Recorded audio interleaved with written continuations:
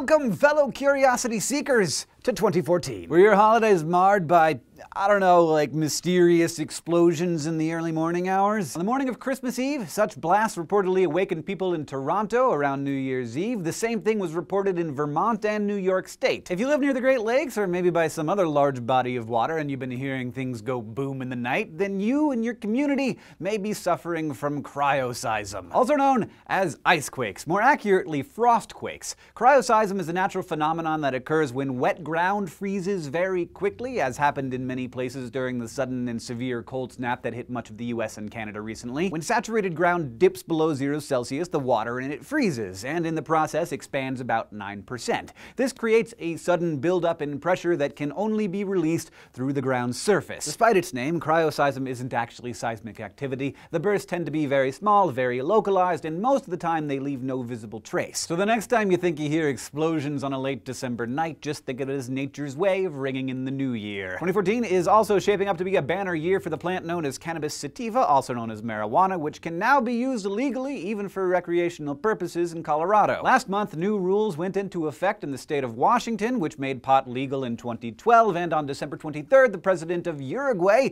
signed an order making the drug legal there too. But as more people are getting used to easier access to pot, scientists are sounding off notes of caution about its use. Doctors at Northwestern University reported recently that daily pot use can actually change the structure of your brain, and not for the better. The physician studied people in their 20s who had used pot daily for more than three years. MRI scans found that the region of their brains related to memory had physically shrunk and in some cases collapsed. And the younger the people were when they first started using, the more deformed their memory centers were. Pretty unsurprisingly, these users performed poorly on memory-related tasks compared to control subjects. But the more concerning finding from the study is that the brain abnormalities found in chronic users closely resemble those found in people with schizophrenia, a neurological disease that causes hallucinations, delusions, paranoia, and problems with working memory. You can read all about it in the links below. All I can say is take care of your neurons, and they'll take care of you. And finally, who doesn't like to feel like a winner? The Olympic Games in Sochi get underway in less than a month, and they are providing their own interesting insights into human behavior. A new study released today, for instance, reveals that the body language of victory appears to be universal across time and cultures. A pair of psychologists from San Francisco State University came to this conclusion after they and some observers watched sporting events of many kinds in many countries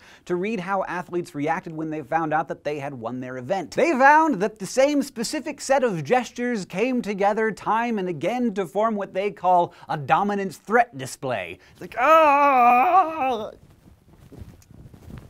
In case you've never won anything in your life, I'll describe it to you. Arms raised, usually with fists up above the shoulders, chest puffed up, head thrown back. Ah! Yeah, it feels good. Try it. You just feel feel better. The psychologists say that this kind of flaunting is more than mere pride, but a physical display of domination over competitors. And it was even observed in athletes who have been blind from birth, suggesting that it is an innate behavior and not learned. But you know who I think the winners are? You for watching this episode of SciShow News, especially if you're one of our cherished Subbable subscribers. If you'd like to sponsor a graphic with your name on it, or get a SciShow poster signed by the whole crew, you can learn about these and other perks by going to subbable.com slash scishow. And of course, you can also find us on Facebook and Twitter, and don't forget to go to youtube.com slash scishow and subscribe.